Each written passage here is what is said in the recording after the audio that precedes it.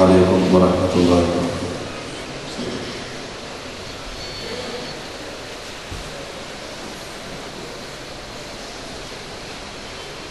Pada salat dulu.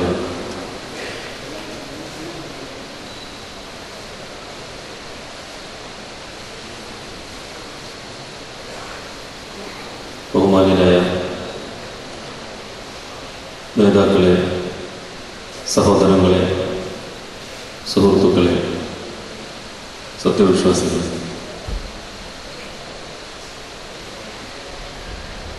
Kerala സംസ്ഥാന ജനീയതുലമായുടെ നാൽപ്പത്തഞ്ചാം വാർഷിക പരിപാടികളുടെ ഭാഗമായി ഉച്ചഭാഷണയും ധാർമ്മിക പ്രശ്നങ്ങളും എന്ന പണ്ഡിത സെമിനാറാണ് ഇവിടെ ആരംഭിക്കുന്നത്. പരിഷ്കാരം ഐക്യം തകർക്കരുത്. എന്ന പ്രമേയത്തിൽ ജമിയത്തുലമായുടെ നാൽപ്പത്തഞ്ചാം വാർഷിക പരിപാടികൾ കഴിഞ്ഞ ഡിസംബർ നാലാം തീയതി തിരുവനന്തപുരത്ത് വെച്ച് ഉദ്ഘാടനം ചെയ്യപ്പെട്ടതാണ്.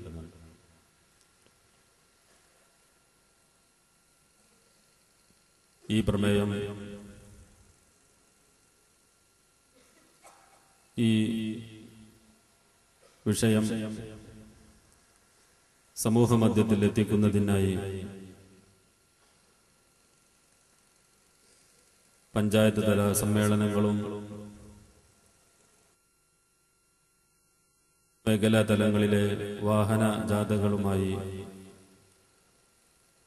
പരിപാടികൾ കീഴ്ത്തട്ടുകളിൽ സജീവമായി നടന്നുകൊണ്ടിരിക്കുകയാണ്. അഹ്ലുസുന്നത്തി വൽ ജമാഅത്ത് പ്രസ്ഥാനത്തിലെ ഐക്യത്തെയും ഏകതയും തകർക്കാൻ നിമിത്തമായ ഒരു വസ്തുവാണ് ചുരുക്കി പറഞ്ഞാൽ ഉച്ചഭാഷിണി എന്ന് പറയുന്ന ഈ യന്ത്രം. ഈ ഉച്ചഭാഷിണിയുടെ ധാർമ്മികമായ ഇത് സംബന്ധിച്ചുള്ള പ്രശ്നങ്ങളും ഇത് വിവാദത്തിൽ ഉപയോഗിക്കുന്നതിനെ സംബന്ധിച്ചുള്ള വിവിധ വശങ്ങളുമെല്ലാം ഈ പണ്ഡിത സെമിനാറിൽ ഇവിടെ ചർച്ച ചെയ്യപ്പെടുകയാണ്. ഈ പണ്ഡിത സെമിനാറിൽ അധ്യക്ഷത വഹിക്കുന്നത് നമ്മുടെ കേരള സംസ്ഥാന ജമീയത്തുലമായുടെ ആദരണീയരായ അധ്യക്ഷർ മൗലാന എൻ കെ ഉസ്താദ് അവർകളാണ് ഈ സെമിനാറിൽ അധ്യക്ഷത വഹിക്കുന്നത്. മഹാനരെ ഈ പരിപാടിയിലേക്ക് സ്വാഗത സംഘത്തിന്റെ പേരിൽ പ്രത്യേകം സ്വാഗതം ചെയ്യുകയാണ്. ഈ പരിപാടി ഉദ്ഘാടനം ചെയ്യുന്നത് നമ്മുടെ എല്ലാവരുടെയും ആത്മീയ അമരക്കാരനായ കേരള സംസ്ഥാന ജമീയത്തുലമായുടെ ജോയിന്റ് സെക്രട്ടറി കൂടിയായ ആദരണീയരായ നമ്മുടെ പാണക്കാട് സെയ്ദ് അബ്ദുൽ ജബ്ബാർ ഷിഹാബ് തങ്ങൾ അവറുകളാണ് ഈ പരിപാടിയുടെ ഉദ്ഘാടനം നിർവഹിക്കുന്നത് മഹാനായ തങ്ങളവറുകളെയും വേദിയിലേക്ക് സ്വാഗതം ചെയ്യുകയാണ്. ഈ വിഷയം ഇവിടെ അവതരിപ്പിച്ചുകൊണ്ട് സംസാരിക്കുന്നത് നമ്മുടെ എല്ലാവരുടെയും എല്ലാമെല്ലാമായ അഹ്ലുസുന്നത്തി വൽ ജമാഅത്തിന്റെ അവസാന ശബ്ദമായി കേരള ഉലമാക്കളിൽ എണ്ണപ്പെടുന്ന മഹാനായ കേരള സംസ്ഥാന ജമീയത്തുലമായുടെ ഔദ്യോഗിക വക്താവ് കൂടിയായ ബഹുമാനപ്പെട്ട മൗലാന ഉസ്താദ് അവറുകളാണ് വിഷയം അവതരിപ്പിച്ചുകൊണ്ട് ഇവിടെ സംസാരിക്കുന്നത്. ബഹുമാനപ്പെട്ട ഉസ്താദ് അവറുകൾക്കും ആദരണീയരായ നമ്മുടെ മൗലാന എൻ കെ ഉസ്താദ് അവറുകൾക്കും ബഹുമാനപ്പെട്ട മഹാനായ നമ്മുടെ തങ്ങളവറുകൾക്കും നമ്മുടെ മറ്റെല്ലാ മഹത്തുക്കളായ നേതാക്കൾക്കും അള്ളാഹു സുബാനഹുവത്താല ദീർഘായുസ് പ്രദാനം ചെയ്യുമാറാവട്ടെ ആഫിയത്ത് പ്രദാനം ചെയ്യുമാറാവട്ടെ ദീർഘകാലം ഈ സമൂഹത്തിനും സമുദായത്തിനും ദീനിനും ധീരമായി നേതൃത്വം നൽകാനുള്ള ആഫിയത്ത് അള്ളാഹു സുബാനഹുവത്താല നൽകി അനുഗ്രഹിക്കുമാറാവട്ടെ. അതുപോലെ തന്നെ ഈ ചർച്ചയിൽ പങ്കെടുത്തുകൊണ്ട് ഇവിടെ സംസാരിക്കുന്നത് പ്രമുഖ പണ്ഡിതനും ബുദ്ധിജീവിയും ഗ്രന്ഥകാരനും എല്ലാമായ ബഹുമാനപ്പെട്ട സി ഹംസ മാസ്റ്റർ അവറുകളാണ് അദ്ദേഹത്തെയും ഈ വേദിയിലേക്ക് സ്വാഗതം ചെയ്യുകയാണ്. അതുപോലെ തന്നെ ഈ ചർച്ചയിൽ പങ്കെടുക്കുന്ന എഴുത്തുകാരനും അനുഗ്രഹീത പ്രഭാഷകനുമായ ബഹുമാനപ്പെട്ട ഇബ്രാഹിം വഹബി തോണിപ്പാടം അവർ അദ്ദേഹത്തെയും വേദിയിലേക്ക് സ്വാഗതം ചെയ്യുകയാണ്. അതുപോലെ നമ്മുടെ വേദിയിലുള്ള സംസ്ഥാന ജമീയത്തുലമായുടെ കേന്ദ്ര മുഷാവറയിലെ മഹത്തുക്കളായ പല നേതാക്കന്മാരും കേരള സംസ്ഥാന സുന്നി യുവജന ഫെഡറേഷന്റെ സംസ്ഥാന ഭാരവാഹികൾ ഭാരവാഹികളും കേന്ദ്ര നേതൃത്വവും പലരും നമ്മുടെ വേദിയിലുണ്ട്. അവർക്കെല്ലാവർക്കും ഈ വേദിയിലേക്ക് സ്വാഗത സംഘത്തിന്റെ പേരിൽ പ്രത്യേകം സ്വാഗതം ആശംസിച്ചുകൊണ്ട് ഇവിടെ എത്തിച്ചേർന്ന മുഴുവൻ സഹോദരങ്ങളെയും സുഹൃത്തുക്കളെയും ഈ പരിപാടിയിലേക്ക് പ്രത്യേകം സ്വാഗതം ചെയ്തുകൊണ്ട് ഈ പരിപാടിയുടെ നിയന്ത്രണം ഏറ്റെടുക്കുന്നതിന് ആദരണീയരായ മൗലാന എൻ കെ ഉസ്താദ് അവറുകളോട് വിനയപുരസർ അപേക്ഷിച്ചുകൊണ്ട് ഞാൻ അവസാനിപ്പിക്കുന്നു. അലഹമുല്ലാ റബ്ബിൽ ആലമീൻ. അസ്സലാമു അലൈക്കും. ഈ മഹത്തായ സെമിനാറിന്റെ ഔപചാരികമായ ഉദ്ഘാടന കർമ്മമാണ് അതിനായി ബഹുമാനപ്പെട്ട സയ്യിദ് അബ്ദുൽ ജബ്ബാർ ശിഹാബ് തങ്ങൾ പാണക്കാട് അവരുടെ ആദരപൂർവ്വം ക്ഷണിച്ചുകൊള്ളുന്നു بسم الله الرحمن الرحيم الحمد لله رب العالمين والصلاة والسلام على أشرف المرسلين وعلى آله وأصحابه الفائزين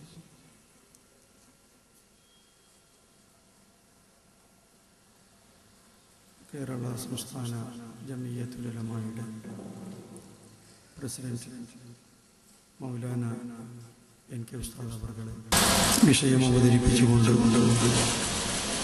സംസാരിക്കുന്ന ബഹുമാന്യരായ മൗലാന നജീം മൗലവി അവർകളെ ചർച്ചയിൽ പങ്കെടുത്ത് സംസാരിക്കുന്ന സി അംസ സാഹിബ് ഇബ്രാഹിം അഹബി തോണിപ്പാടം അഡ്വക്കേറ്റ് ഫാറൂഖി മുഹമ്മദ് തുടങ്ങിയ നേതാക്കന്മാരെ. കേരള സംസ്ഥാന ജമീയത്തുലമായുടെ മുഷാവറ മെമ്പർമാരും എസ് വൈ എഫിന്റെ സംസ്ഥാന നേതാക്കളുമാകുന്ന പണ്ഡിതന്മാരെ സുഹൃത്തുക്കളെ കേരള സംസ്ഥാന ജമീയത്തുലമായുടെ നാൽപ്പത്തി അഞ്ചാം വാർഷികത്തോടനുബന്ധിച്ച് നടത്തപ്പെടുന്ന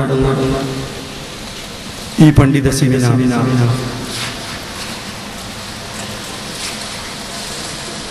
വളരെയധികം പ്രസക്തമാണ് കാലികമാണ് എന്ന കാര്യത്തിൽ സംശയമില്ല.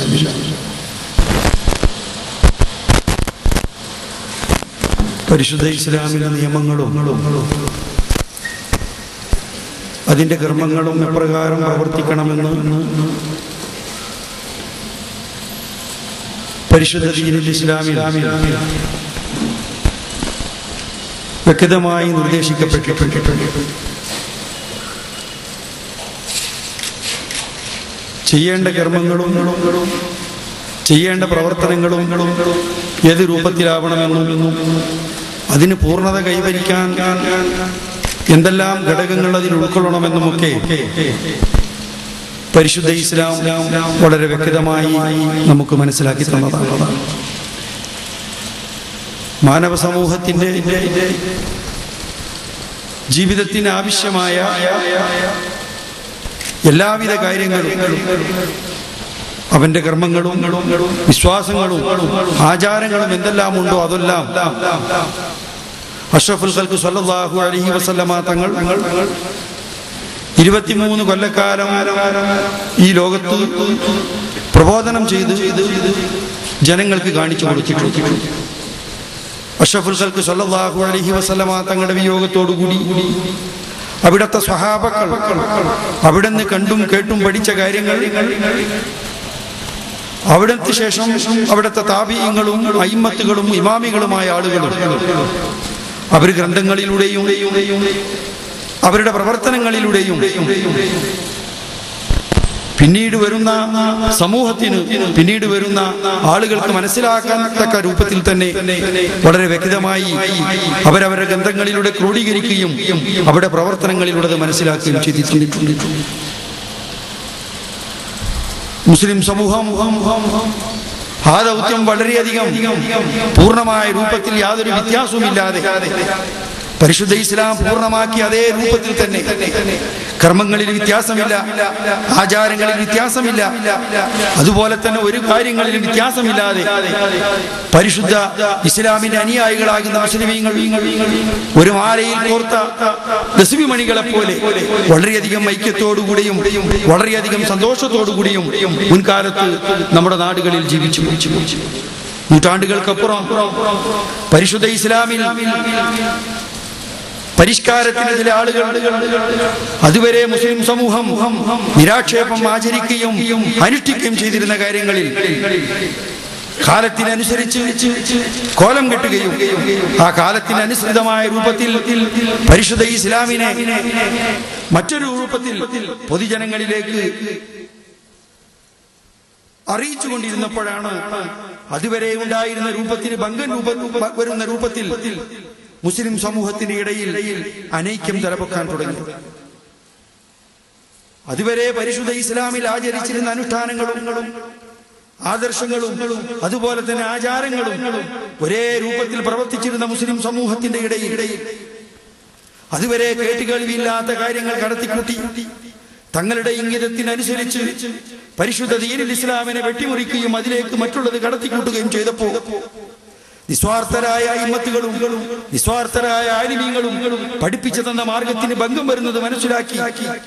അന്നത്തെ ചില ആളുകളും പരിശുദ്ധാത്മാക്കളായ മഹത്തുക്കളായ പണ്ഡിതന്മാരും അതിനെ എതിർക്കുകയും പരിശുദ്ധ ഇസ്ലാമിൽ പരിഷ്കാരത്തിന് കർമ്മങ്ങളിലോ അതിന്റെ ആചാരങ്ങളിലോ വിശ്വാസത്തിലോ സ്ഥാനമില്ലെന്ന് പറഞ്ഞുകൊണ്ട് ജനങ്ങളെ ധ്വതീകരിക്കുകയും ചെയ്തു എന്നുള്ളത് നമുക്കറിയാം. ഇന്ന് മുസ്ലിം സമൂഹത്തിൽ കാണുന്ന ഈ അനൈക്യത്തിനുള്ള പ്രധാന കാരണം മുൻകാലത്തുണ്ടായിരുന്ന ഐക്യം നശിക്കാൻ കാരണം പരിശുദ്ധ ഇസ്ലാമിൽ പരിഷ്കാരം കൊണ്ടുവന്നു എന്നതുകൊണ്ടതാണ്. അതുകൊണ്ട് തന്നെയാണ് ഒരു പണ്ഡിത സംഘടനയാകുന്ന കേരള സംസ്ഥാന ജമീയത്തുലമ അതിന്റെ നാൽപ്പത്തി അഞ്ചാം വാർഷികത്തിൽ പരിഷ്കാരം ഐക്യം തകർക്കരുത് എന്നുള്ള പ്രമേയവുമായി നാൽപ്പത്തി അഞ്ചാം വാർഷികം ആഘോഷിക്കാൻ തീരുമാനിച്ചു അതുകൊണ്ട് മുസ്ലിം സമൂഹത്തിൽ മുൻകാലത്ത് നിലനിന്നിരുന്ന ഐക്യം ഇവിടെ സ്ഥാപിക്കണമെങ്കിൽ പുനഃസ്ഥാപിക്കണമെങ്കിൽ ഐക്യത്തോടുകൂടി മുസ്ലിം സമൂഹം കെട്ടുറപ്പോടുകൂടി ജീവിക്കണമെങ്കിൽ പരിശുദ്ധ ഇസ്ലാമിൽ കടത്തിക്കൂട്ടുന്ന പരിഷ്കാരങ്ങൾ ഒരിക്കലും നമുക്ക് ചേർന്നതല്ല യോജിച്ചതല്ല.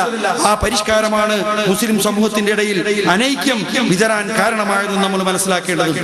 അതുകൊണ്ട് മുസ്ലിം സമൂഹത്തിൽ ഐക്യം സ്ഥാപിക്കണമെങ്കിൽ മുൻകാലത്ത് പണ്ഡിതന്മാരായ മഹത്തുക്കളായ ആലിമീങ്ങൾ നമുക്ക് കാണിച്ചു തന്ന ആശയങ്ങളിലൂടെയും ആദർശങ്ങളിലൂടെയും കർമ്മങ്ങളിലൂടെയും മുന്നോട്ട് പോവാൻ മുസ്ലിം സമൂഹം തയ്യാറായാൽ മുസ്ലിം സമൂഹത്തിലുള്ള അനൈക്യവും അതുപോലെ തന്നെ അത് ചിത്രതയും നമുക്ക് എടുത്തു മാറ്റാൻ കഴിയുമെന്ന് മാത്രം ഈ അവസരത്തിൽ ഓർമ്മപ്പെടുത്തിക്കൊണ്ട് ഇതിന് എല്ലാവിധ സഹായങ്ങളും നിങ്ങളുടെ ഭാഗത്തു നിന്നുണ്ടാവണമെന്ന് അഭ്യർത്ഥിച്ചുകൊണ്ടും അപേക്ഷിച്ചുകൊണ്ടും ഈ സെമിനാർ ഉദ്ഘാടനം ചെയ്തതായി അറിയിച്ചുകൊള്ളുന്നു. അസ്സാം വലൈക്കും വാഹമത്തുള്ള വിഷയാവതരണമാനിനി ആദരണീയരായ ഉസ്താദ് അവറുകൾ വിഷയം അവതരിപ്പിക്കും അധ്യക്ഷർക്ക് വേണ്ടി ആദരപൂർവ്വം ക്ഷണിച്ചു بسم الله الرحمن الرحيم الحمد لله رب العالمين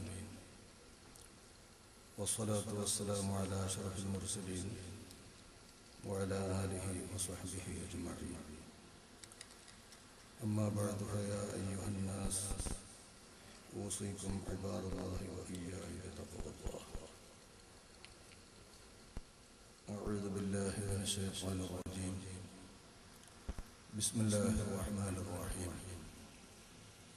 وأن هذا صراطي مستقيما فاتبعوه ولا تتبعوا السبل. فتفرق بكم عن سبيله. الآية صدق الله العلي العظيم.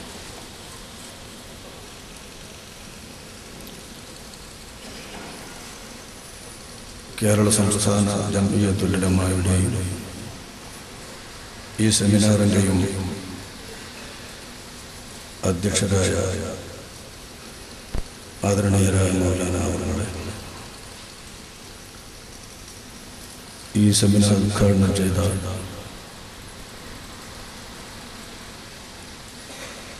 അഭിവന്ദരായ ആത്മീയ അവലംബം തങ്ങളവരുടെ ആദരണീയരായ സയ്യിദുമാരെ പണ്ഡിത നേതാക്കളെ ഗുരുമഹത്തുക്കളെ വേദിയിലും സദസ്സിലുമുള്ള സയ്യിദുമാരെ പണ്ഡിതന്മാരെ മുത്തല്യം സുഹൃത്തുക്കളെ സഹോദരങ്ങളെ ഇത് സാധാരണ ഒരു വിഷയത്തിൽ നടക്കുന്ന രീതിയിലുള്ള കേവലം ഒരു സെമിനാറല്ല പണ്ഡിത സെമിനാറാണ് അതുപോലെ സ്വഭാവത്തിലും മാറ്റങ്ങളുണ്ടാകും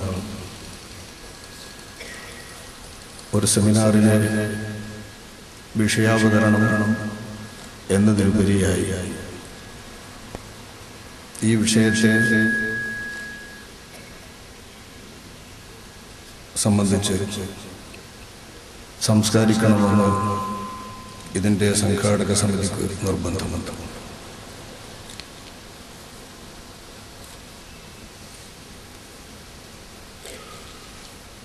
ഉച്ചഭാഷണിയും ധാർമ്മിക പ്രശ്നങ്ങളും എന്നതാണ് വിഷയം.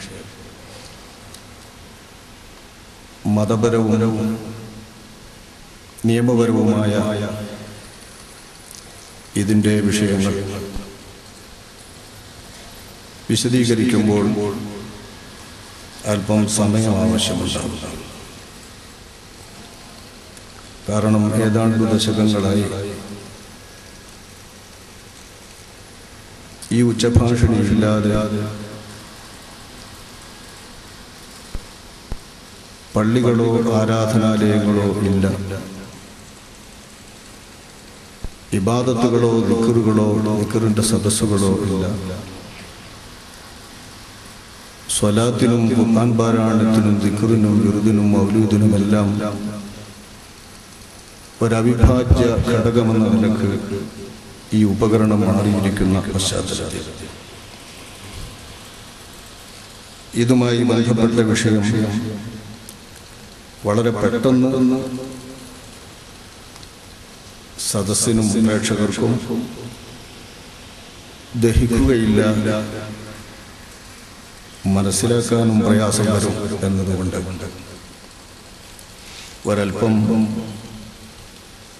നീണ്ടാലും വിഷയത്തിന്റെ അവതരണമാകണം എന്ന നിർബന്ധത്തിലാണ് ഈ പരിപാടി സംഘടിപ്പിച്ചിരിക്കുന്നത്.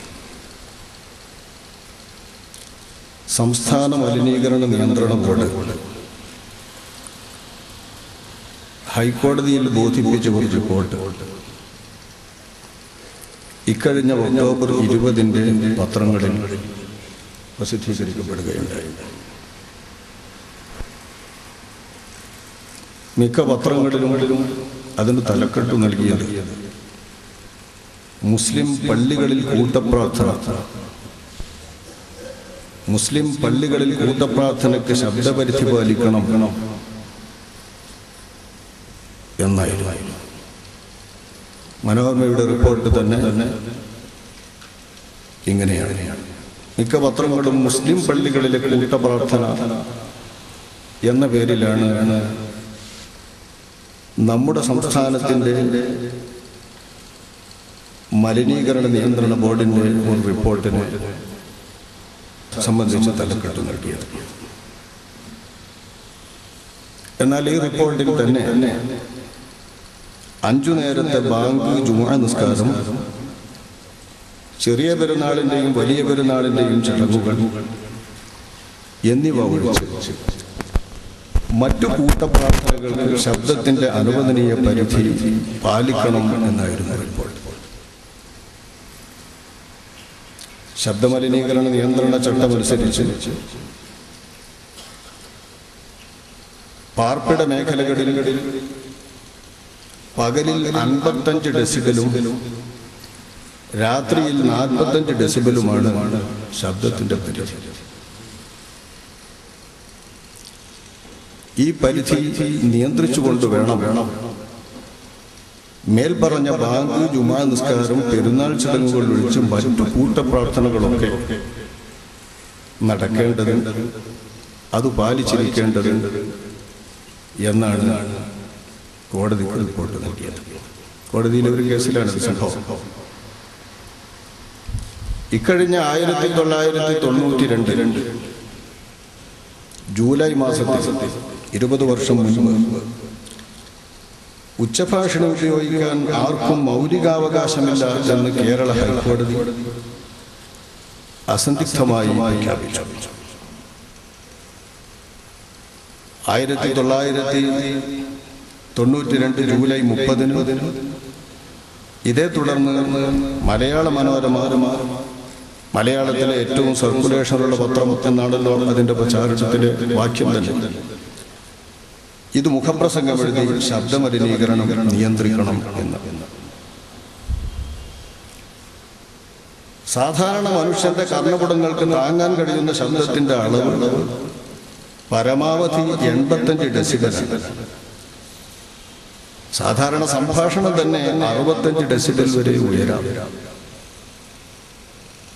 അപ്പൊ ഇതുപോലത്തെ യന്ത്രങ്ങൾ ഉപയോഗിച്ചാൽ എത്ര ഡെസിബൽ ഉയരും ഉയരും? അതുകൊണ്ട് തന്നെ ഈ ശബ്ദമലിനീകരണം നിയന്ത്രിക്കണം എന്ന് ഉത്തരവാദപ്പെട്ടവരെയും അധികൃതരെയും ഉണർത്തുകയും സമൂഹത്തെ ബോധീകരിക്കുകയും ചെയ്യുന്ന കുറിപ്പായിരുന്നു ഇങ്ങനെയെല്ലാം വർഷങ്ങളായി നിയമകേന്ദ്രങ്ങളിൽ നിന്നും ബഹുമാനപ്പെട്ട കോടതികളിൽ നിന്നുമൊക്കെ ഇതു സംബന്ധിച്ച് ശബ്ദങ്ങൾ മുഴങ്ങുമ്പോൾ തെല്ലു വിവാദങ്ങളും ചില്ലറ ശബ്ദങ്ങളും അതിനെ ചൊല്ലി മുഴങ്ങുമെന്നതിൽ കവിഞ്ഞു. വലിയ വിവാദങ്ങൾക്ക് വഴിവെക്കുന്ന നടപടികളിലേക്ക് സംസ്ഥാന ഭരണകൂടവും അധികൃതരും നിയമപാലകരും നീങ്ങാറില്ല എന്നതാണ് ഒരു വസ്തുത. സമൂഹവും പൊതുവെ ഇക്കാര്യത്തിൽ ശ്രദ്ധിക്കുന്നില്ല. യോഗങ്ങളും ബഹളങ്ങളും മാറിയും മറിഞ്ഞുമുള്ള പരസ്യങ്ങളും അനൗൺസ്മെന്റുകളും കലാപരിപാടികളും കലാമേളകളും മറ്റുമായി ശബ്ദശല്യം രൂക്ഷമായി ഉയരുക തന്നെയാണ്.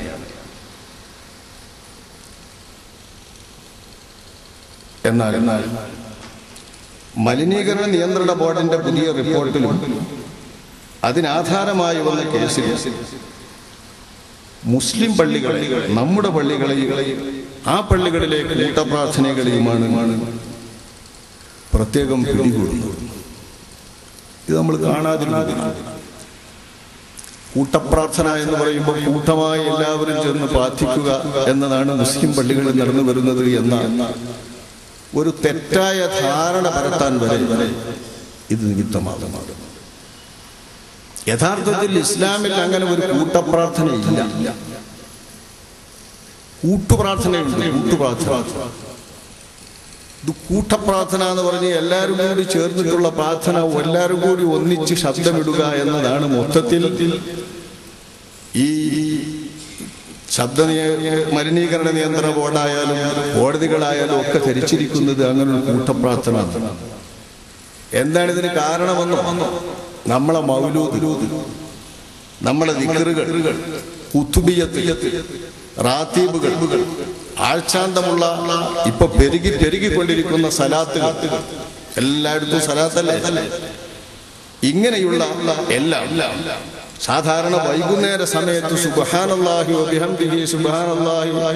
എന്ന് പറഞ്ഞ് സാധാരണ ചൊല്ലുന്ന ആ സുബഹാനല്ലാഹി ചൊല്ലുന്നത് വരെ ദർസുള്ള ഇടങ്ങളും മറ്റുമാണെങ്കിൽ പറയേണ്ട കൂട്ടമായി ഒന്നിച്ചു ഓരോരുത്തരും ഓരോരുത്തരും ചേർത്ത് കൂട്ട ശബ്ദത്തിൽ മുടങ്ങുമ്പോ നമ്മളല്ലാത്തവരെല്ലാവരും ധരിക്കുന്നത് കൂട്ടമായ പ്രാർത്ഥനയാണ്. അതിനൊക്കെ പ്രാർത്ഥന തന്നെയല്ലേ പറയാം? പെട്ടെന്ന് കേൾക്കുന്ന അറബിന്റെയൊക്കെ പ്രാർത്ഥന അപ്പൊ കൂട്ട പ്രാർത്ഥന.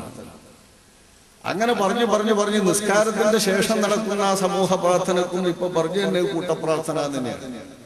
വാസ്തവത്തിൽ ഇത് കൂട്ടുപ്രാർത്ഥനയാണ് കൂട്ടുപ്രാർത്ഥനയെ നമുക്കുള്ളൂ. കൂട്ടപ്രാർത്ഥനയില്ല. ഒരാൾ ദുആർക്ക ആ ദുആർക്കുന്ന നേതാവിന്റെ കൂടെ ആമീൻ ചൊല്ലി നമ്മൾ കൂടുക. അതാണ് ഇപ്പൊ യഥാർത്ഥത്തിലുള്ള നമ്മുടെ ദുആ. നിസ്കാരത്തിലെ ജമാഅത്തിൽ തന്നെ ഇതാണ് വ്യവസ്ഥ. ഒരാൾ എല്ലാവരും കൂടി ഒപ്പം പറയാൻ പറ്റുള്ളൂ ഇമാമിന്റെ കൂടെ മഹമൂമുകളും കൂടി ഒന്നിച്ചോതുന്ന രംഗം വന്നപ്പോ അള്ളാഹുവിന്റെ റസൂൽ അത് വിലക്കുകയാണ് ചെയ്തത്. നിങ്ങൾ എന്റെ പിന്നിൽ ഓതുന്നു. ഞാൻ ഖുർആൻ ഓതുമ്പോ എനിക്ക് ഖുർആൻ ബുദ്ധിമുട്ടാകുന്ന ഓതാൻ. അതുകൊണ്ട് എന്റെ പിന്നിൽ നിങ്ങൾ ഓതരുത്. നിശബ്ദമായി അത് കേൾക്കുകയാണ് വേണ്ടത് എന്ന് അഷറഫുൽ സല്ലല്ലാഹു അലൈഹി വസല്ലം തങ്ങൾ നിർദ്ദേശിച്ചത് നമ്മുടെ നിസ്കാരത്തിലെ ഒരു നിയമമാണ്. ഇമാം ഓതുമ്പോ നമ്മൾ കേൾക്കുക പിന്നെ നമ്മൾ ഒറ്റയ്ക്ക് നമ്മുടെ സ്വന്തം ശരീരത്തെ മാത്രം കേൾപ്പിച്ച് അടുത്ത് നിൽക്കുന്ന ആൾ പോലും കേൾക്കാതെ സിർവൻ ആണല്ലോ സിർവൻ എന്നതിന്റെ അർത്ഥം. അങ്ങനെ നമ്മൾ സിർദൻ ഓതുകയാണ്. ഇത് വാസ്തവത്തിൽ ഇമാമിന്റെ കൂടെ കൂടുമ്പോൾ നമ്മൾ ആമീൻ എന്ന വാചകം കൊണ്ടാ കൂടുന്നത്. അതുവരെ ഇമാമ് പറഞ്ഞതിലൊക്കെ നമ്മൾ ആമീൻ എന്ന് പറയുമ്പോൾ കൂട്ടുചേരുകയാണ്. ഈ കൂട്ടു പ്രാർത്ഥനയെ കൂട്ടപ്രാർത്ഥനയായി തെറ്റിദ്ധരിക്കുമാ. എല്ലാവരും ചേർന്ന് കൂട്ടമായി തൊള്ളയിടുകയും ശബ്ദമിടുകയും ചെയ്യുന്നതാണ് നമ്മുടെ പള്ളികളിൽ നിശ്ചയിക്കപ്പെട്ട പ്രാർത്ഥന എന്ന് കുറച്ചു കാലമായി നമ്മുടെ പ്രവർത്തനം കൊണ്ടും നമ്മുടെ കോലം കൊണ്ടും ഒക്കെ ആളുകൾക്ക് തോന്നുകയാണ്. അപ്പൊ ശല്യം ആരാധനാലയങ്ങളിൽ നിന്ന് അധികവും വരുന്നത് നമ്മിൽ നിന്നാണ്. ഇത് വല്ലാത്തൊരു പ്രയാസമാണ്. ഈ റിപ്പോർട്ടുമായി ബന്ധപ്പെട്ട്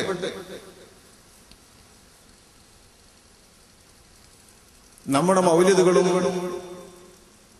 അതുപോലത്തെ സംഗതികളുമൊക്കെ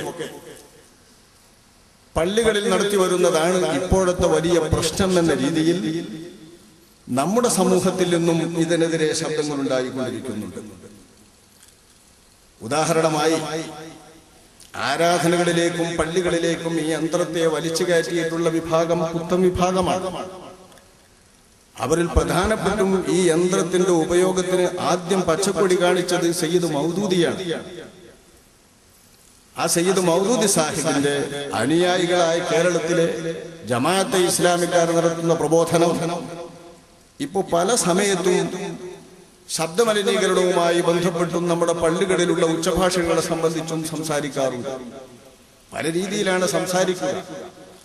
ആ കൂട്ടത്തിൽ ശബ്ദമലിനീകരണം ഇസ്ലാമിക മാർഗനിർദ്ദേശങ്ങൾ എന്ന പേരിൽ ഇക്കഴിഞ്ഞ രണ്ടായിരത്തി പതിനൊന്ന് ജൂലൈ എട്ടിലെ ലക്കം പ്രബോധനത്തിൽ അതിന്റെ ഒരു കോളമാണത്. പംക്തി സാധാരണ പംക്തി. അതിൽ ശബ്ദമലിനീകരണം ഇസ്ലാമിക മാർഗനിർദ്ദേശങ്ങൾ. ശബ്ദമലിനീകരണത്തിന്റെ കുഴപ്പങ്ങളും ഇസ്ലാമികിന്റെ മാർഗനിർദ്ദേശങ്ങളും വിവരിച്ചുകൊണ്ടുള്ള ഒരു കൂട്ടത്തിൽ പ്രത്യേകം ഊന്നി പറയുന്നത് ശ്രദ്ധിക്കുന്നു. അള്ളാഹുവിന്റെ ഭവനങ്ങളിൽ ഒരുമിച്ചുകൂടി ഇരുന്ന് അവനെ സ്മരിക്കുന്നത് വലിയ പുണ്യകർമ്മമാണെങ്കിലും അത് ലൗഡ് സ്പീക്കറിലൂടെ ജനങ്ങളെ കേൾപ്പിക്കുന്നതിന് പ്രമാണങ്ങളിൽ തെളിവില്ല. അത് ചിലപ്പോൾ കർമ്മങ്ങളെ നിഷ്ഫലമാക്കുന്ന പ്രകടനപരതയിലേക്ക് വഴുതാനും ഇടയുണ്ട്. അപ്പൊ ഈ പറയുന്നതൊക്കെ നമ്മളെ മൗലൂദും ദിക്കറുകളും സ്വലാത്തുകളും ഒക്കെ പുറത്തുകാക്കിയിട്ട് അതിന് തെളിവില്ല എന്നാണ്. ഉദ്ദേശിച്ച് എഴുതുന്നത് അങ്ങനെയാണ്. അതിനു മാത്രമല്ല ഈ അടുത്ത കാലത്തായി വന്നിട്ടുള്ള ഉച്ചഭാഷിണികളെ ഇബാദത്തുകളിലും ആരാധനകളിലും നിസ്കാരത്തിലും ജുമായിലും കുത്തുബയിലും ഒക്കെ ചേർക്കുന്നതിനു തന്നെ തെളിവില്ല എന്നാണ് നമ്മുടെ വിഷയം സംബന്ധിച്ച് ഞാനിവിടെ അവതരിപ്പിക്കുന്നത്. ഈ രൂപത്തിൽ ശബ്ദമലിനീകരണത്തിന്റെ പ്രശ്നം ചൊല്ലി ഇതുമായി ബന്ധപ്പെട്ടുള്ള പല ശബ്ദങ്ങളും ഇപ്പോൾ പുറത്തിറങ്ങാറുണ്ട്. ഇപ്പോ ടൗണുകളിൽ നിറയെ നിറയെ പള്ളിയാണല്ലോ. പണ്ടത്തെ മാതിരിയല്ല. ഒരു ടൗണിൽ തന്നെ എത്ര പള്ളിയാ? ഗ്രാമങ്ങളിലൊക്കെ തന്നെയും ചെറിയ അങ്ങാടികളെ കേന്ദ്രീകരിച്ചുകൊണ്ട് എത്ര പള്ളിയാണ്? എത്ര ഗ്രൂപ്പും ആളും ഉണ്ടോ? അതിനനുസരിച്ച് നമ്മുടെ നാട്ടിൽ പള്ളി ഉണ്ടാവും. പോരാ ഒരു അറബിനെയോ പണക്കാരനെയോ കിട്ടിയ അവർക്ക് ചെയ്യാവുന്ന ഏറ്റവും വലിയ സാമ്പത്തിക സേവനം ഒരു പള്ളി ഉണ്ടാക്കലാണ് ബിൽഡിംഗ് ഉണ്ടാക്കലാണ്. ഇതാണ് ഇപ്പൊ ഏറ്റവും വലിയ പുണ്യകർമ്മം. അറബികളാണെങ്കിൽ ഇതാണ് വലിയൊരു വിഷയമാക്കി വെച്ചിരിക്കുന്നത്. പട്ടിണിപ്പാവങ്ങളോ മറ്റേതെങ്കിലും സാമ്പത്തിക രംഗത്തുള്ള ഇസ്ലാമിന്റെ മാർഗനിർദ്ദേശങ്ങളോ ഒന്നൊന്നും സമൂഹത്തിന് ആവശ്യമില്ല. അത്തരം കാര്യങ്ങളിലൊന്നും ശ്രദ്ധയുമില്ല. പള്ളി ഉണ്ടാക്കുക പള്ളി ഉണ്ടാക്കുക. ആ പള്ളിയുടെ ചന്തം കണ്ട് അത് നിർമ്മിച്ചവരുടെ ഈമാൻ അളക്കുക. ഇതൊക്കെയാണ് നമ്മുടെ സാധാരണ നാട്ടിലുള്ള ശീലം. ഇങ്ങനെ പള്ളികൾ നിരന്തരമായി വന്നപ്പോ എല്ലാ പള്ളികളിലും വേണമല്ലോ കാളം. കാളം തന്നെ വേണം? കോളാമ്പി എന്ന് കോളാമ്പി വെക്കാൻ ഞാൻ പള്ളിയാന്ന് മനസ്സിലാവൂല. അമ്പലാന്ന് അതും മനസ്സിലാവൂല. അമ്പലത്തിനും പള്ളിക്കും വേണം. അപ്പൊ നമ്മുടെ പള്ളികളിൽ ഇപ്പൊ ബാങ്ക് കൊടുക്കുന്നത് ഓരോ പള്ളിക്കും കേൾക്കാൻ വേണ്ടിയിട്ട് മിനിറ്റുകൾ നീണ്ടു നിൽക്കുകയാണ് ഇപ്പൊ ബാങ്ക്. കാരണം ആകെ ബാങ്ക് കൊടുക്കാൻ ലേശം നേരെ വേണ്ടുള്ളൂ. ഹൈക്കോടതി വിധികളൊക്കെ വരുമ്പോ കോടതിയിലൊക്കെ പ്രത്യേകത ചൂണ്ടിക്കാണിക്കാറുണ്ട്. വളരെ ചെറിയ മിനിറ്റുകൾ കൊണ്ട് തീരുന്നത്. സെക്കൻഡുകൾ കൊണ്ട് തീരുന്ന ബാങ്ക് ഇപ്പൊ ഒരു ടൗണിൽ തീരണമെങ്കിൽ നല്ല മിനിറ്റുകൾ തന്നെ വേണം. മിനിറ്റുകൾ വേർതിരിക്കാൻ വേണ്ടി കലണ്ടറുകളിൽ സമയം കൊടുക്കുന്നത് പോലെ ഇപ്പൊ അഞ്ചും പത്തും ഒക്കെ മിനിറ്റ് വ്യത്യാസത്തിലാണ്. ഓരോരോ പാർട്ടിക്കാരുടെ കലണ്ടറിൽ. ഇതിന്റെ ഒക്കെ അർത്ഥം ഞങ്ങളെ പള്ളിയിലെ ബാങ്ക് പ്രത്യേകം വേറെ കേൾക്കണം. ആൾക്കാർക്കും അങ്ങനെ തന്നെ നമ്മളെ പള്ളിയിലെ ബാങ്ക് കേട്ടാലേ നോൽമ്പ് മുറിക്കൂ. നമ്മളെ പള്ളിയിലെ ബാങ്ക് കേട്ടാലേ നിക്കരിക്കൂ. നമ്മളെ പള്ളിയിലെ ബാങ്ക് കേട്ടാലേ സുബഹിക്ക് ഉണരൂ എന്ന ഒരു തരം തരം സങ്കുചിതമായ ചിന്ത മനോഭാവം സാധാരണക്കാരിൽ വ്യാപകമായി വരികയാണ്. ഈ രീതിയിലുള്ള ബാഗുകളുടെ ശബ്ദം ശല്യം രൂക്ഷമായി വരുമ്പോൾ പ്രബോധനവും പ്രബോധനം മാത്രമല്ല മുജാഹിദുകളുടെ ശബാബുമൊക്കെ ഇടക്കിടക്ക് ഇപ്പോൾ ഒരു പുതിയ നിർദ്ദേശം വെക്കുന്നുണ്ട്. ധാരാളം പള്ളികളുള്ള ഒരു നഗരത്തിലൊക്കെ ഒരു പള്ളിയിൽ നിന്ന് സ്പീക്കറിൽ വാക്ക് കൊടുത്താൽ മതി. ബാക്കി സ്ഥലത്ത് നിന്ന് സ്പീക്കറും വേണ്ട വാങ്ങാൻ മതി ഒറ്റ പള്ളി അപ്പൊ ഇത് നടപ്പാക്കാൻ വേണ്ടി തുനിഞ്ഞവർക്ക് പോലും ഇത് ശല്യമായെന്ന് തോന്നുന്ന വിധം പള്ളികളുടെ ആധിക്യം കൊണ്ടും മറ്റും ഇതൊരു വലിയ ശല്യമായി തന്നെ മാറിയിരിക്കുന്നു എന്ന് എല്ലാവർക്കും ബോധ്യപ്പെട്ട ഈ കാലത്ത് വേണ്ടതിനും വേണ്ടാത്തതിനുമൊക്കെയും ഇത് ഉപയോഗിച്ചുകൊണ്ടിരിക്കുന്നു എല്ലാവരും. ശബ്ദമലിനീകരണത്തിന്റെ കാര്യമാണെങ്കിൽ ഇത് ആരും ഒട്ടും പുറകിലല്ല. എല്ലാവരും. അപ്പൊ നമ്മളിപ്പോ ഇതില്ലാതെ സംസാരിക്കാൻ കഴിയില്ലല്ലോ. ഇവിടെ എല്ലാവരും കൂടെ ഒത്തുകൂടി ഇതില്ലാതെ ഇപ്പൊ സംസാരിക്കാൻ കഴിയില്ല. ഇനി പുറത്തൊരു യോഗം നടത്തുന്നു ബഹളം നടത്തുന്നു മറ്റേതെങ്കിലും തരത്തിലുള്ള ക്യാമ്പയിനുകളോ പ്രചാരണങ്ങളോ നടത്തുന്നു. ഇതിനൊക്കെയും എന്താ ചെയ്യാ? ഇതിനെ സാധനം മൈക്ക് ഉച്ചഭാഷണം കൂട്ടണം ഇല്ല എന്ന് മറ്റൊന്നും നമുക്ക് ആർക്കും പ്രശ്നമല്ല. അപ്പൊ സമൂഹത്തിൽ മൊത്തം വരുന്ന പ്രശ്നമാണ്. എല്ലാവരും അപരാധരാണ്. നിരപരാധരായി ആരുമില്ല. ഈ അർത്ഥത്തിലുള്ള ഒരു വിഷയത്തിലും നമ്മുടെ പള്ളികളെയും നമ്മുടെ പള്ളികളിലുള്ള പ്രാർത്ഥനകളെയും മാത്രം കേന്ദ്രീകരിച്ചുകൊണ്ട് കോടതികളിൽ നിന്നും മറ്റും വിധികൾ വരുന്നതും അതിനനുസരിച്ചുള്ള റിപ്പോർട്ടുകളും മറ്റും വരുന്നതും ആ റിപ്പോർട്ടുകളെ പ്രചരിപ്പിച്ചുകൊണ്ടിരിക്കുന്ന മാധ്യമങ്ങൾ തലക്കെട്ടുകൾ അതിനനുസരിച്ച് കൊണ്ട് കൊടുക്കുന്നതൊക്കെ നമ്മെ ഒരല്പം ചിന്തിപ്പിക്കേണ്ടതുണ്ട്. ഇതുമായി ബന്ധപ്പെട്ടാണ് നമ്മൾ സംസാരിക്കുന്നത്. ഇപ്പറയുന്നതൊക്കെയും പുതിയ പുതിയ പരിഷ്കാരം മൂലം ശല്യങ്ങൾ വരുമ്പോൾ ശല്യം ബോധ്യപ്പെടുമ്പോൾ പൊതുസമൂഹത്തിൽ നിന്ന് ഉയർന്നു വരുന്ന പ്രശ്നങ്ങളാണ്. നാം മുസ്ലിംകൾ ഇതിൽ യഥാർത്ഥത്തിൽ ഒരിക്കലും പ്രതിയാകാൻ പാടില്ല. ഇന്ന ദീന യുസ്രുൻ പ്രയാസരഹിതമായ ലളിതമായതാണ് അള്ളാഹു താലാന്റെ വളരെ പ്രയാസരഹിതം. ആരെയും ശല്യപ്പെടുത്തുന്നതില്ല. എന്നമാ ബുഴത്തും മുയസ്സിരീന. നിങ്ങൾ നിയോഗിക്കപ്പെട്ടിരിക്കുന്നത് മനുഷ്യർക്ക് എളുപ്പമുണ്ടാക്കാനും പ്രയാസമില്ലാതെ ശല്യം ചെയ്യാതിരിക്കാനുമാണ്. എല്ലാ മുഅസ്സിരീന. ഞെരുക്കവും പ്രയാസവും ഉണ്ടാക്കുന്നവരായല്ല. ഇങ്ങനെ നിർദ്ദേശിക്കപ്പെട്ട ഇങ്ങനെ വാഴ്ത്തപ്പെട്ട സമുദായം ആർക്കും പ്രയാസമാകരുതെന്ന് പഠിപ്പിക്കപ്പെട്ട സമുദായം അൽ മുസ്ലിമു മൻ സലിമൽ മുസ്ലിമൂന മില്ലിസാനിഹി വയദിഹി തന്റെ നാക്കിന്റെ ശല്യത്തിൽ നിന്നും കയ്യൂക്കിൽ നിന്നും രക്ഷപ്പെടുന്നവർ മുസ്ലിമീങ്ങൾക്ക് രക്ഷ കിട്ടുന്നവർ ആരെ കൊണ്ടാണോ രക്ഷ കിട്ടുന്നതെങ്കിൽ അവരെ യഥാർത്ഥ മുസ്ലിമുള്ളൂ. മനുഷ്യർക്ക് രക്ഷ കൊടുക്കുന്നവരാണ് മുസ്ലിം എന്ന് അഷറഫുൽ ഹൽക്കു സല്ലല്ലാഹു അലൈഹി വസല്ലം തങ്ങൾ വാഴ്ത്തിയത്. എന്നുമെന്നും എന്നും പ്രസംഗിച്ചുകൊണ്ടിരിക്കുന്ന നബിതങ്ങൾ പ്രസ്താവിച്ചത് പ്രത്യേകം പറഞ്ഞുകൊണ്ട് സംസാരിക്കുന്ന നമ്മുടെ സമുദായത്തിൽ നിന്ന് മനുഷ്യർക്ക് ശല്യമാകുന്ന രീതിയിലുള്ള ഇത്തരം പ്രവർത്തനങ്ങൾ മതത്തിന്റെ പേരിലും ദീനന്റെ പേരിലും ഉണ്ടാകുമോ? ഒരിക്കലും ഉണ്ടാകാനിടയില്ല. ദീനന്റെ പേരിൽ ഇങ്ങനെ ഒരു സംഭവം ഉണ്ടാവാനിടയില്ല. അല്ലെങ്കിലും ദീനന്റെ വിവാദത്തുകളിലും ആരാധനകളിലും ഇത്തരം സംഭവങ്ങളും പരിഷ്കാരങ്ങളും ഒന്നും കടന്നു വരാൻ ദീനിന്റെ ശരിയായ അന്തസ്സത്ത മനസ്സിലാക്കുമ്പോൾ ഒരു വഴിയുമില്ല. ഉമ്മത്തം വാഹിദ. നിങ്ങളുടെ ഈ സമുദായം ഒരൊറ്റ സമുദായമാണ് ഏക സമുദായം. അഷ്റഫുൽ ഹൽക്കു സല്ലാഹു അലൈഹി വസല്ലമ്മ തങ്ങൾ നേതാവായി നബി ഇമാമായി അംഗീകരിച്ചുകൊണ്ട് നീങ്ങുന്ന ഒരു സമുദായം. നബി സല്ലാഹു അലൈഹി വസല്ലമ്മ തങ്ങൾ തൊട്ട് അന്ത്യനാൾ വരെ റസൂലായിട്ടുള്ള നബി തങ്ങളുടെ ഉമ്മത്ത് ഏതു കാലത്ത് എപ്പോൾ വന്നതും ഏത് വിഭാഗമായി വന്നാലും അവരൊക്കെയും ഉൾക്കൊള്ളുന്ന ഏക ഉമ്മത്ത്. ഈ ഏക ഉമ്മത്താണ് ഇസ്ലാം വിഭാവനം ചെയ്യുന്നത്. ഇതാണ് മുസ്ലിം ഉമ്മത്ത്. ഈ മുസ്ലിം ഉമ്മത്തിനെ ആ ഒരു ഏക ഉമ്മത്ത് എന്ന നിലയിൽ ഏകീകരിക്കുന്നതിന് പറ്റുന്ന രീതിയിലുള്ള ഇബാദത്തുകളും നിയമങ്ങളുമാണ് ആചാരങ്ങളുമാണ് പരിശുദ്ധ ദീൻ വ്യവസ്ഥ ചെയ്തിട്ടുള്ളത്. ഈ ഉമ്മത്തിന് ഏതെങ്കിലും രീതിയിൽ ഒരു രാജ്യത്തേക്ക് മാത്രമുള്ള സൗകര്യം നോക്കിയോ ഒരു കാലത്തേക്ക് മാത്രമുള്ള സൗകര്യങ്ങൾ നോക്കിയോ എന്തെങ്കിലും ഉണ്ടായിത്തീരുന്ന എന്തെങ്കിലും തരത്തിലുള്ള സാങ്കേതിക സൗകര്യങ്ങൾ നോക്കിയോ ഒരു ഇബാദത്തും ഈ ദീനിലില്ല അഷ്റഫുൽ ഹൽക്ക് സല്ലല്ലാഹു അലൈഹി വസല്ലമ തങ്ങൾ തൊട്ട് ഖിയാമത്ത് നാൾ ഒന്നാം തീയതി വരെയുള്ള ജനങ്ങൾ ഒരേ ഇബാദത്ത് ഒരേ ചടങ്ങുകൾ ഒരേ ആചാരങ്ങൾ ഒരേ ക്രമത്തിൽ ഈ രീതിയിൽ സംവിധാനിക്കപ്പെട്ടതാണ് ഈ ദീനിന്റെ പ്രത്യേകത. ഇങ്ങനെ ഏക ഇബാദത്ത് ഏക ആചാരം ഏക മുഖമുള്ള ഇത്തരം ആചാരങ്ങളോടുകൂടെ ഏക ഉമ്മത്തിന് മുന്നിൽ കണ്ടുകൊണ്ട് അള്ളാഹു സുബാനുഭവത്താല വ്യവസ്ഥ ചെയ്തിട്ടുള്ള ഈ പരിശുദ്ധ ദീൻ ശാസ്ത്ര സാങ്കേതിക സൗകര്യങ്ങൾ ആ സൗകര്യങ്ങൾ വർദ്ധിക്കുന്നതനുസരിച്ച് പുതിയൊരു ഇബാദത്ത് പുതിയൊരാചാരം അതിനനുസരിച്ചുകൊണ്ടുള്ള പുതിയ നിയമങ്ങൾ ഇതൊന്നും വാസ്തവത്തിൽ നമ്മുടെ ഇബാദത്തുകളിൽ കാണില്ല കാണാനിടയുമില്ല. ഇബാദത്തിലും തക്കുവായിലും മുന്തി നിൽക്കുന്നത് നമ്മുടെ ഈ ഉമ്മത്തിലെ ആദ്യ തലമുറയാണ്. നമുക്കറിയാം അഷറഫുൽ ഖൽഖു സല്ലല്ലാഹു അലൈഹി വസല്ലം തങ്ങളുടെ സ്വഹാബത്ത്. ആ സ്വഹാബത്തിനോളം മുന്തിയവർ ഇനി ഒരിക്കലും വരില്ല.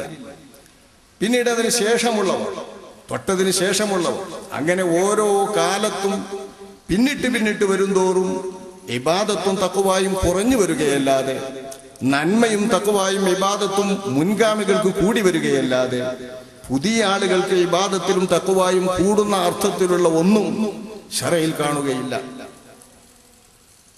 എല്ലാ വിഭാഗത്തിനും അള്ളാഹുവിനെ പുൽകാൻ പരലോക രക്ഷ കിട്ടാൻ അള്ളാഹുമായി സന്ധിക്കാൻ അള്ളാഹുവിന്റെ പൊരുത്തം നേടാൻ അള്ളാഹുവിനെ കാണാൻ ശാശ്വതമായി പരലോകത്ത് ജീവിക്കാൻ ഉദ്ദേശിച്ചുകൊണ്ടുള്ള ചടങ്ങുകളും വിവാദത്തുകളുമാണ് അള്ളാഹു താല നിശ്ചയിച്ചിട്ടുള്ളത്.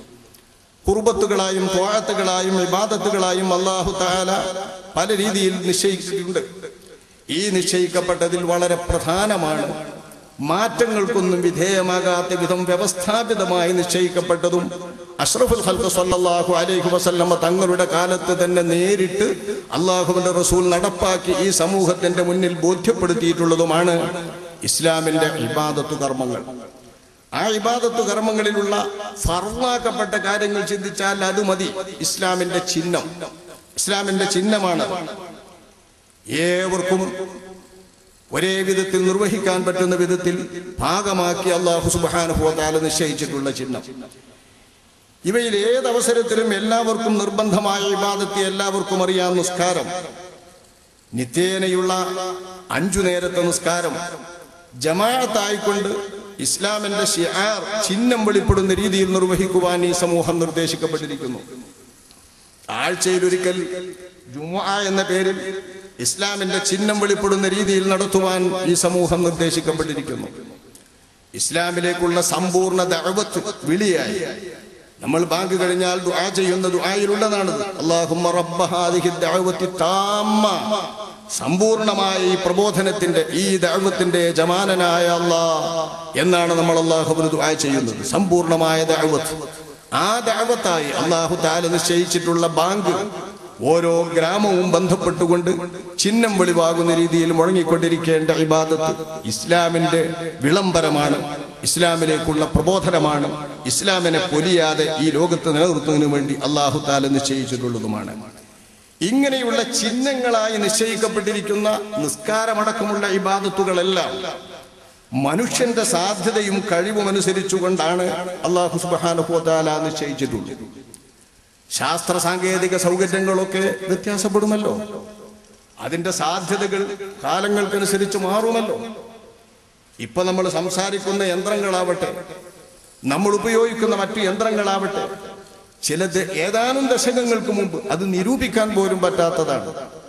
അതേസമയം ഇബാദത്തുകളോ അഷറഫുൽ ഹൽക്കു സല്ലാഹു അലൈഹി വസല്ലമ തങ്ങളുടെ കാലം തൊട്ട് തന്നെ വന്നുകൊണ്ടിരിക്കുന്നു.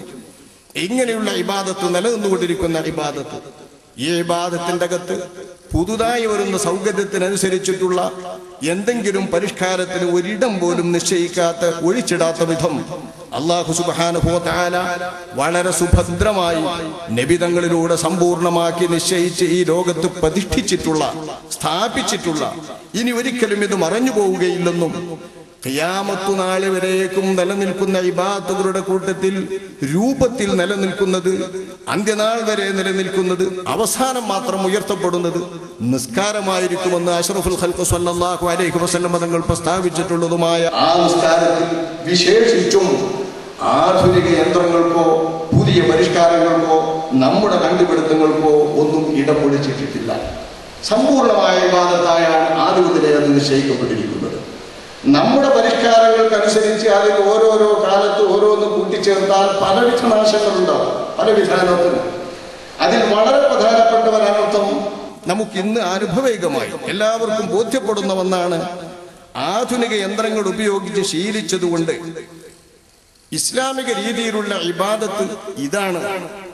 ഇതില്ലാത്ത ഒരു ഇബാദത്ത് ഒരു ഇബാദത്താണോ? ഒരു ആരാധനയാണോ? എങ്ങനെ അങ്ങനെ ഒരു ആരാധന നടക്കും എന്ന രീതിയിലുള്ള ചിന്ത. ഈ ചിന്ത എവിടം വരെ എത്തിക്കുന്നു നമ്മെ? മുൻഗാമികളൊന്നും നമ്മൾ നിർവഹിച്ചതുപോലെ ആ ഇബാദത്ത് നിർവഹിച്ചിട്ടില്ലെന്നും എങ്ങനെയാണ് അവരൊക്കെ ഈ ഇബാദത്ത് നിർവഹിച്ചു കൂട്ടിയത് എന്നുമുള്ള ഒരു അത്ഭുതം കൂറൽ. മുൻഗാമികളെ ശപിക്കൽ ഇതൊക്കെ ഇതുകൊണ്ട് വരികയാണ്. ഇന്നത്തെ കാലത്ത് ആലോചിച്ചു നോക്കി. ഉച്ചഭാഷണിയുമായി ബന്ധപ്പെട്ട് നമ്മുടെ നിസ്കാരത്തിലോ ഹുത്തുബയിലോ ഇബാദത്തുകളിലോ ഇത് ഉപയോഗിക്കുന്ന ചർച്ചയിലേക്ക് തന്നെ കിടക്കട്ടെ. ഈ യന്ത്രം ഉപയോഗിക്കാത്ത ഒരു വിഭാഗത്തിനെ കുറിച്ച് സാധാരണക്കാരന്റെ മുമ്പിൽ സാധാരണക്കാരൻ എന്നാൽ തലേ കെട്ടിയാലും മൂല്യന്മാരൊക്കെ സാധാരണക്കാരൻ തന്നെയാണ് ഇവിടെ വിഷയത്തിൽ വിഷയം വരുമ്പോ അങ്ങനെ ആ അർത്ഥത്തിലാ സംസാരിക്കുക എല്ലാരും. ഒരു ലക്ഷം ആളൊക്കെ കൂടിയാലേ എങ്ങനെ പിന്നെ നിസ്കരിക്കണം? എങ്ങനെ പിന്നെ കുത്തുപോതുക അപ്പൊ ഹജ്ജിന് നമ്മൾ മക്കത്ത് കൂടിയ എങ്ങനെ അവിടെ കുത്തുപോതുക ഹറമിൽ ഇപ്പൊ നിസ്കരിക്കുകയാണെങ്കിൽ എങ്ങനെ അവിടെ നിസ്കരിക്കുക എന്ന് ഇന്നത്തെ രീതിയിലുള്ള അനുഭവം വെച്ചുകൊണ്ട് നമ്മൾ ചോദിക്കുമ്പോ ആരുടെ നിസ്കാരത്തെയാണ് നമ്മൾ ഇവിടെ കുറ്റപ്പെടുത്തുന്നത്? ഏത് നിസ്കാരത്തിലാണ് നമ്മൾ ഇവിടെ ന്യൂനത കാണുന്നത്? എങ്ങനെ മുത്തുനബിയും സ്വഹാബത്തൊക്കെ നിസ്കരിച്ചു എന്നാണ് നമ്മൾ ചോദിക്കുന്നതിനർത്ഥം മുത്തനബിയും സ്വഹാബത്തൊക്കെ എങ്ങനെ നിസ്കരിച്ചു? എങ്ങനെ ഹജ്ജ് ചെയ്തു? എങ്ങനെ അവർക്കൊക്കെ ഹജ്ജ് കിട്ടി? എന്താ പിന്നെ ഇവർ ഈ പറഞ്ഞു നടക്കുന്നതെന്നാണ് പള്ളിന്റെ ഉള്ളിൽ മുറിച്ച ആളുണ്ടാവുമ്പോ എങ്ങനെ ഇവരൊക്കെ കേൾപ്പിക്കുന്നത് ഈ യന്ത്രം വന്നതെന്നാണ് എന്ന് ആലോചിച്ചോ? ഇത് ഉപയോഗിക്കാൻ തുടങ്ങിയതെന്നാണ് എന്ന് ആലോചിച്ചോ? നമുക്ക് ഈ സൗകര്യങ്ങൾ കിട്ടിയിട്ട് നമ്മൾ ശീലിച്ചു പോയപ്പോ ഏതാണ്ട് ഒരു എട്ട് പത്ത് കൊല്ലം കൊണ്ട് ശീലിച്ചാൽ ആ ശീലത്തിന്റെ അപ്പുറത്തേക്ക് നമ്മൾ പറ്റ തീർത്തും ചരിത്രത്തെ സംബന്ധിച്ച് ഒരു ഓർമ്മയും ഇല്ലാത്തവരായി മാറും. നമ്മളൊരു സാധാരണ ഒരു മൊബൈലില്ല. അതെങ്ങനെ നമ്മൾ ജീവിക്കാം? എന്ന് ചിന്തിക്കുന്ന മാതിരിയാണ് നമ്മൾ ചിന്തിക്കുന്നത്. അത് ഇബാദത്തുകളെ കുറിച്ചാവുമ്പോൾ ആരുടെ ഇബാദത്തിലാണ് നമ്മൾ ഇങ്ങനെ കുറവ് കാണുന്നത്. ഈ സമുദായത്തിന്റെ അവസാനത്തെ തലമുറ ഈ സമുദായത്തിന്റെ ആദ്യ തലമുറയെ ശപിക്കുക എന്നതും കുറ്റപ്പെടുത്തുക എന്നതും ആക്ഷേപിക്കുക എന്നതും ആളുടെ അടയാളമായി കൊണ്ടുവരാവുന്ന വിനാശങ്ങളിൽ അഷറഫുൽ ഹൽക്ക് സല്ലാഹു അലൈഹി വസല്ലമ തങ്ങൾ എണ്ണിയത് സാർവത്രികമായി പുലരുക അങ്ങനെയൊക്കെ തന്നെയാണ്. കുറ്റം പറയാന്നറിഞ്ഞു കണ്ട് ആരും സഹായഭാക്കളെ കുറ്റം പറയില്ല. നമ്മളെല്ലാവരും യഥാർത്ഥത്തിൽ കുറ്റപ്പെടുത്തുന്നുണ്ട്. എങ്ങനെയാണ് ലക്ഷം ആൾ കൂടുമ്പോൾ നിസ്കരിക്കാന്ന് ചോദിക്കുമ്പോ അള്ളാണ്ട് റസൂലിനും സ്വഹാബത്തിനും നീ നിസ്കാരം അറിഞ്ഞൂടാനൊന്നല്ലേ വരുന്നത്? ലക്ഷ ആളുകൾ കൂടുന്നത് ഇപ്പം തുടങ്ങിയതാ.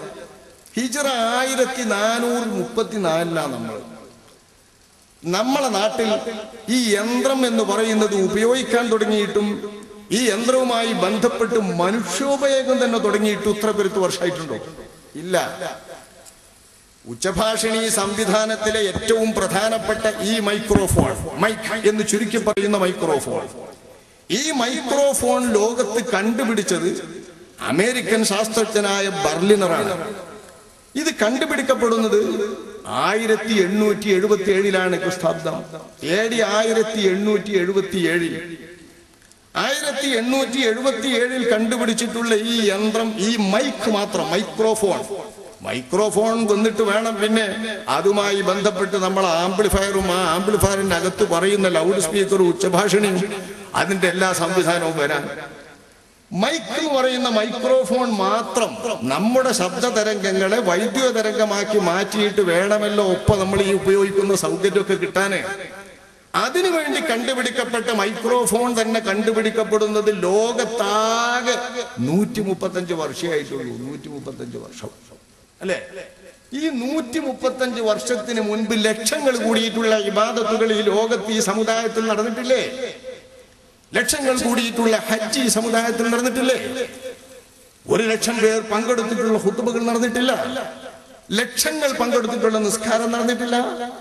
ഹജ്ജിൽ ലക്ഷങ്ങൾ പങ്കെടുക്കാൻ തുടങ്ങിയിട്ട് കാലത്രയായി പ്രഥമമായി അഷറഫുൽ സ്വല്ലല്ലാഹു അലൈഹി വസല്ലം തങ്ങൾ നിർവഹിച്ച ഹജ്ജ് നബിയുടെ അവസാനത്തെ ഹജ്ജാണ്. നമുക്കറിയാം ഹജ്ജത്തുൽ വിദാഅ് വിടവാങ്ങാൻ വേണ്ടി അഷറഫുൽ സ്വല്ലല്ലാഹു അലൈഹി വസല്ലം തങ്ങൾ സമൂഹത്തെ ഒരു കൂട്ടി നടത്തിയിട്ടുള്ള പ്രസംഗമടക്കമുള്ള വിടവാങ്ങൽ പ്രസംഗമടക്കം നടന്ന ആ സുപ്രസിദ്ധ ഹജ്ജിൽ തന്നെ ചരിത്രത്തിൽ പറയുന്നത് ഒരു ലക്ഷത്തിലധികം പേർ പങ്കെടുത്തു എന്ന്. ഒരു ലക്ഷത്തിലധികം പേര് മുത്തുനബി സല്ലല്ലാഹു അലൈഹി വസല്ലമ തങ്ങളുടെ ഹജ്ജിൽ പങ്കെടുത്തതിൽ പിന്നെ ലക്ഷങ്ങൾ ചേരാത്ത ഹജ്ജ് മക്കയെ കേന്ദ്രീകരിച്ച് നടന്നിട്ടുണ്ടോ? ലക്ഷങ്ങളില്ലാത്ത ഹജ്ജ് നടന്നിട്ടുണ്ടോ? ഈ യന്ത്രം ഉപയോഗിക്കാൻ മനുഷ്യന് സാധ്യത വന്നിട്ട് എത്ര കാലമായിട്ടുള്ളൂ മൈക്ക് എന്ന് പറഞ്ഞ എന്നെ കണ്ടെത്തിയിട്ട് നൂറ്റി മുപ്പത്തഞ്ച് വർഷം. ഹറമിലൊക്കെ എങ്ങനെയാ നിക്കരിക്കാന്ന് ചോദിക്കുന്ന ആളുകൾ? ഹറമിൽ ഈ ഉച്ചഭാഷിണി സംവിധാനം ഉണ്ടായിട്ടും സൗകര്യം തുടങ്ങിയിട്ടും കാലം ചിന്തിച്ചോ? ആയിരത്തി തൊള്ളായിരത്തി നാൽപ്പതുകൾക്ക് ശേഷമാണ് മസ്ജിദുൽ ഹറാമിൽ ഇത് ഉപയോഗിക്കൽ സാധാരണമായി തുടങ്ങിയിട്ടുള്ളൂ. തൊള്ളായിരത്തി നാൽപ്പതുകൾക്ക് ശേഷം ആയിരത്തി തൊള്ളായിരത്തി നാൽപ്പതുകൾക്ക് മുൻപ് ഹജ്ജിന് പോയിട്ടുള്ളവരും അവിടെ ഒരുപാട് കാലം നിന്നിട്ടുള്ളവരും താമസിച്ചിട്ടുള്ളവരും ഒക്കെ നമ്മുടെ നാട്ടിൽ ഇന്നും ജീവിക്കുന്ന പ്രായം ചെന്നവരിലുണ്ട്. അങ്ങനെയുള്ള ഒരുപാട് ആളുകളുണ്ട്. അവരോടൊന്ന് അന്വേഷിച്ചു നോക്കി. ആയിരത്തി തൊള്ളായിരത്തി നാൽപ്പതിന് മുൻപ് മസ്ജിദുൽ ഹറാമിൽ ഈ യന്ത്രം ഉപയോഗമുണ്ടോ എന്ന് ഇല്ല. അപ്പൊ തൊള്ളായിരത്തി നാൽപ്പതിന് ശേഷം ഇപ്പുറം മാത്രമാണ് നമ്മുടെ മസ്ജിദുൽ ഹറാമിൽ ഇത് ഉപയോഗിച്ചുള്ളൂ. ആയിരത്തി തൊള്ളായിരത്തി നാൽപ്പതുകൾക്ക് മുൻപ് ഒരു പത്തെഴുപത് വർഷം മുൻപ് ലക്ഷങ്ങൾ കൂടിയിട്ടില്ലേ ഹജ്ജിൽ? ഇപ്പൊ ഒന്നായിട്ട് ഉണ്ടാക്കാൻ തുടങ്ങിയതാണോ ഈ ലക്ഷങ്ങൾ? അന്ന് അള്ളാഹുവിന്റെ റസൂൽ മുതൽക്ക് അവിടെ സമൂഹമായി നിസ്കരിച്ചിട്ടില്ലേ? നബിയുടെ സ്വഹാബാക്കളെ നിർത്തിയിട്ട് അള്ളാന്റെ റസൂൽ നിസ്കരിച്ചിട്ടില്ലേ? ഇന്നും ഹറമിൽ കൂടുന്നവർക്കറിയാം ഹറമിലെ ഉച്ചഭാഷയുടെ പ്രസക്തി തന്നെ നഷ്ടപ്പെടുത്തുന്ന വിധത്തിൽ നിസ്കരിക്കുന്ന ഇമാമിനെ അനുഭാഷണം ചെയ്യുന്ന ഒരിടപാട് ഇപ്പോഴും അവിടെ ഉണ്ട്. അള്ളാഹു അക്ബർ എന്ന് ഇമാമ് പറഞ്ഞാൽ ആ ബാങ്ക് കൊടുക്കുന്ന സാധനത്തിന്റെ മേലെ കയറുന്നിട്ട് അള്ളാഹു അക്ബർ എന്ന് പറയുന്നത്. നമ്മളെ വീട്ടിലൊക്കെ ഇപ്പൊ ഉപയോഗം കേൾക്കാലോ? ഹറമിൽ നടക്കുന്ന നിസ്കാരം നമുക്കൊക്കെ ഇഷ്ടം പോലെ കിട്ടുമല്ലോ? ഇമാമ് പറയുന്ന അള്ളാഹു അക്ബർ എന്ന് പറയുന്നത് ഉച്ചഭാഷണ കൊണ്ട് കേൾക്കുന്നത് ശരിയായ കേൾവിയാകുമെങ്കിൽ ആ കേൾവിയെ അതിജയിക്കുമാർ ആ കേൾവി പരിഹാസ്യമാണെന്ന് വരുത്തുമാർ. അപ്പുറത്ത് പിന്നെ കേൾക്കാം അള്ളാഹു അക്ബർ എന്ന് വീണ്ടും പറയുന്നു. ഹമിദ. നമ്മുടെ മധു പ്രകാരം നമ്മളും മാമൂമിങ്ങളും അതല്ല പറയാ. അവിടെ. അവിടുത്തെ അവരുടെ മധു പ്രകാരം എന്ന് പറയുന്നത് കേൾക്ക. മൈതനിൽ നിന്ന്. ബാങ്ക് പഠിക്കുന്ന സ്ഥലത്ത് നിന്ന്. ഇതിപ്പോഴും കേൾക്ക. എങ്ങനെയാണ് ഇത് വന്നത്? എങ്ങനെയാണ് ഈ ഒരു രീതി വന്നത്? അഷ്റഫുൽ ഖൽഖ് സല്ലല്ലാഹു അലൈഹി വസല്ലമ തങ്ങളുടെ കാലത്തു തന്നെ നടപ്പായ രീതിയാണിത്. ഇസ്ലാമിലുള്ള രീതിയാണ്. ഇമാമന്റെ ശബ്ദം ഇമാമനെ തുടർന്ന് നിസ്കരിക്കുന്ന ആളുകൾക്ക് ഇമാമന്റെ ശബ്ദം പിന്നിൽ വരെ പോകും തോറും എത്തിക്കാൻ കഴിയില്ല. അസാധ്യമാണിത്. എന്നാൽ നിസ്കാരത്തിനോ ജമാഅത്ത് ഈ രീതിയിൽ വന്നുകൊണ്ട് തുടരുന്നവർക്കൊക്കെയും ജമാഅത്ത് നടക്കാതെയും പറ്റില്ല. അതിനനുസാരമായി കൊണ്ട് ഏതു കാലത്ത് എത്ര പേർ ഒന്നിച്ച് നിസ്കരിച്ചാലും ആ നിസ്കാരത്തിൽ ഇമാമിന്റെ പോക്കുവരവുകൾ തുടരുന്ന മഹമൂമുകൾക്ക് നിയമപ്രകാരമുള്ള മഹമൂമുകൾക്ക് എത്തിക്കാനുള്ള വ്യവസ്ഥകൾ എന്ന നിലയ്ക്ക് ശരീരത്തിൽ നിശ്ചയിക്കപ്പെട്ട ഒന്നാണ് ഇമാമ് അള്ളാഹു അക്ബർ എന്ന് പറയുമ്പോൾ ഇമാമിന്റെ അനക്കം അറിയിക്കുന്ന വിധം അത് ഏറ്റുപറയുന്ന തെബിലീദ് എന്ന് പറയുന്ന സമ്പ്രദായം. ഇത് ആവശ്യമുണ്ടെങ്കിൽ സുന്നത്താണ് ആവശ്യമില്ലെങ്കിൽ വിദഗ്ധാണ് ഇതാണ് ഇസ്ലാമിന്റെ നയം. ആവശ്യമുള്ളപ്പോൾ സുന്നത്തായ ഈ സുന്നത്ത് അഷ്റഫുൽ ഖൽഖ് സല്ലല്ലാഹു അലൈഹി വസല്ലം തങ്ങളുടെ കാലത്തു തന്നെയുണ്ട്. എന്നാൽ ഇതുപോലെ അതേ രീതിയിൽ തന്നെയാണ് കുത്തുപൊക്കുയിരിക്കുക നിസ്കാരത്തിന് ഇരിക്കണമാതിരി തന്നെയല്ലേ തയ്യാറായി നബിന്റെ കാലത്തിരിക്കുക നമ്മളപ്പത്തിരുത്തം കൂട്ടണ്ട. നമ്മളിപ്പോ പള്ളിയിൽ ഒന്നായിട്ട് ഇങ്ങോട്ട് അടുക്കൂടിയിട്ട് ഇതൊരു പ്രസംഗമാണ് എന്നാക്കി ഈ പ്രസംഗം കേൾക്കാൻ ഇരിക്കണമാതിരി ഒന്നിച്ചിരിക്കുകയാണ്. കഴിഞ്ഞ ദിവസം നിസ്കരിക്കുമ്പോൾ പിന്നെ സ്വഫാകുക അതൊക്കെ നമ്മുടെ കാലത്തുണ്ടായ പുതുമയാണ്. അള്ളാന്റെ റസൂലിന്റെ കാലത്തൊന്നും അങ്ങനെയല്ലല്ലോ. സച്ചരിതരായ സ്ഫുലഫാറാശിനികളുടെ കാലത്തൊന്നും അങ്ങനെയല്ലല്ലോ.